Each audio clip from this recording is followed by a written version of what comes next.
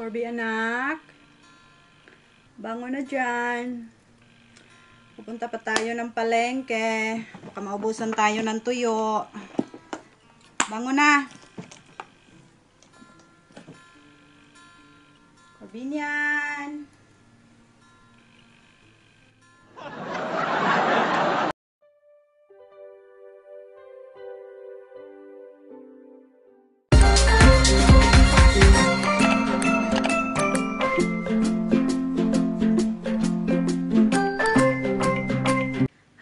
Guys, welcome back to my YouTube channel. YouTube or YouTube? YouTube or YouTube? Ay, ang bot basta. Ako lagi kong sinasabi YouTube. I don't know if that's right. Um, by the way, welcome back and welcome to year 2020. Um, 2020 I wish you all guys, uh, I declare blessings, love, peace, harmony, um, reconciliation, sa mga nag-aaway-away dyan, mga may hinanakit dyan, magbati-bati na kayo, year 2020 na, let's spread love. Okay? And before we proceed guys, uh, may nagpapa-shoutout muna si Tito Card. Hello kuya, nag-message siya sa akin magpa-shoutout. Ang channel niya is about online games, online gaming, ang tawag nito. Um, kung sino mahilig dyan sa mga online games, please subscribe to his channel. And I would like also to thanks my very supportive friends, Ate Lorena, Jen. Thank you for your support and love. And also to Inday Clara, Hello, Day. Thank you. I love you. Ay, sa maning nanawag. Hoy, Lourdes.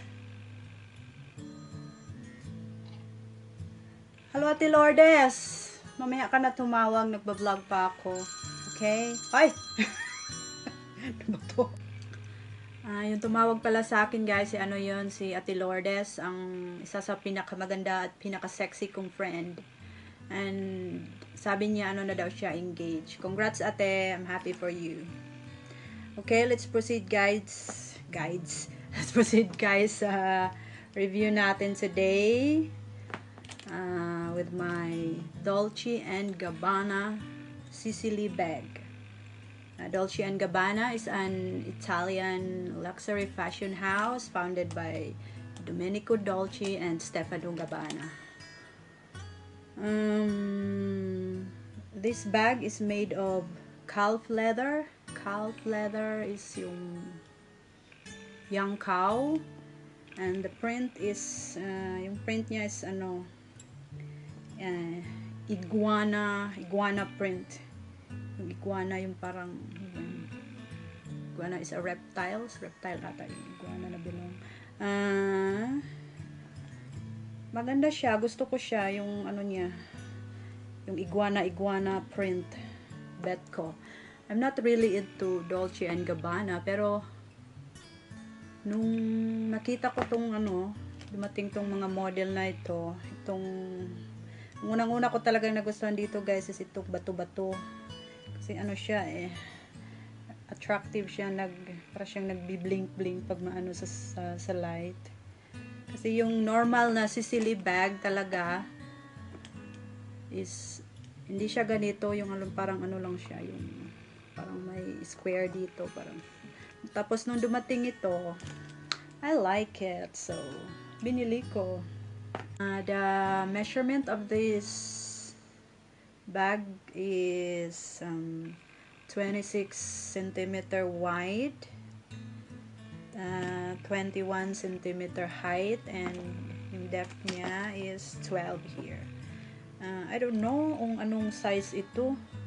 Kasi ano eh, nakalagay dun sa website, sa German website, Mittelgröße.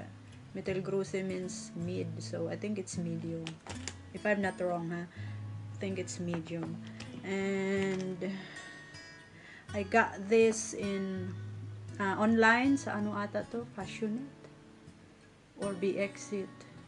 Kasi sila may mga sale sila minsan like 20, 30, 30 30% ko ata ito nakuha.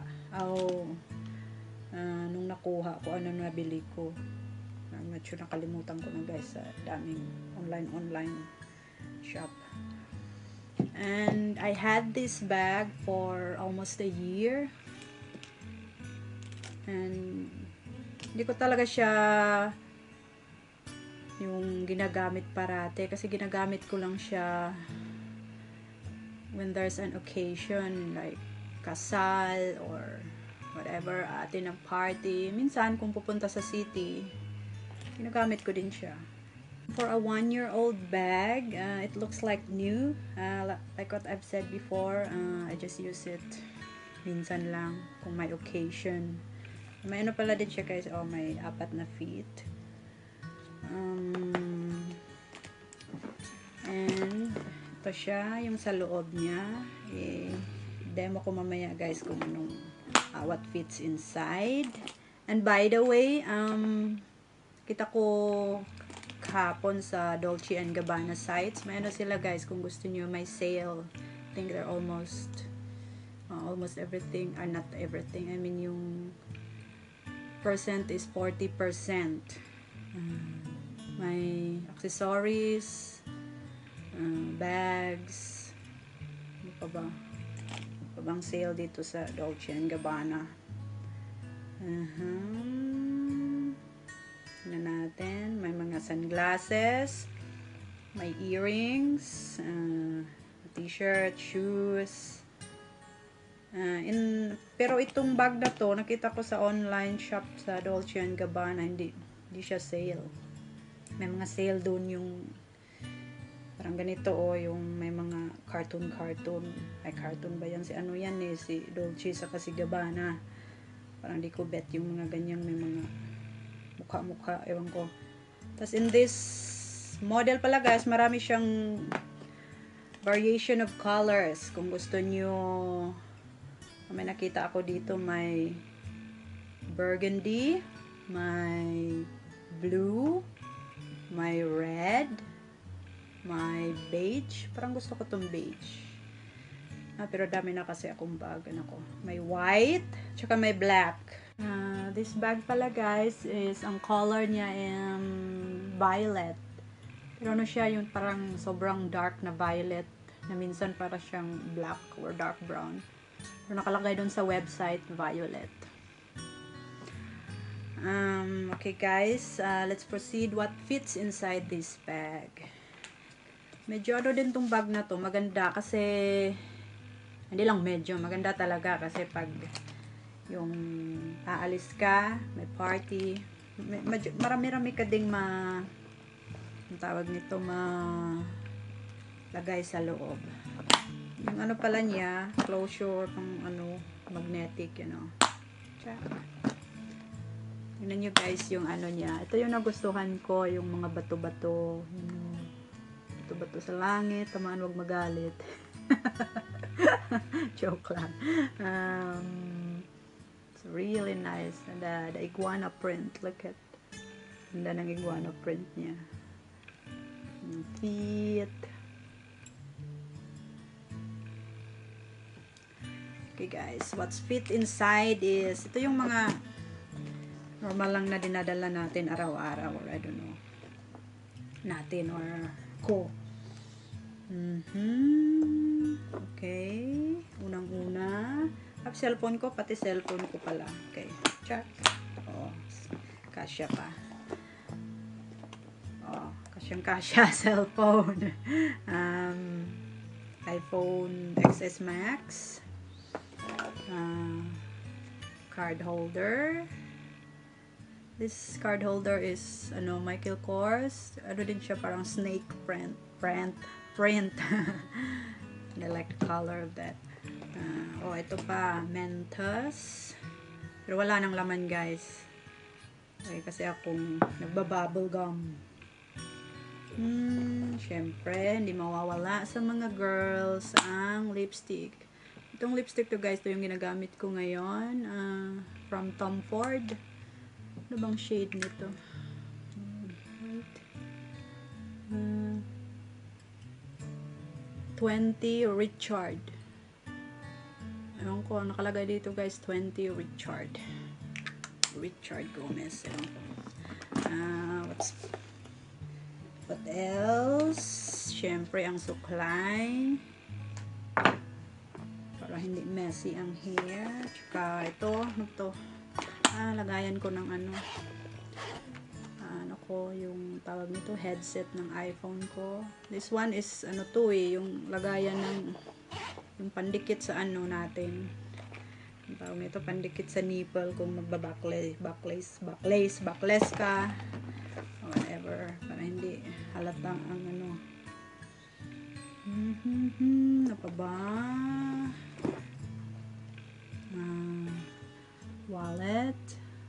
May MCM wallet. Malaki-laki din tong wallet na to. Tingnan nyo. And, syempre, ang pambo. Ang pambo. Tawag namin ito sa Bisaya, pambo eh. Ah, foundation. Mag, syempre, pag maalas tayo, mag-retouch, retouch. Ano pa bang laman ito? Marami-rami na din. Ay.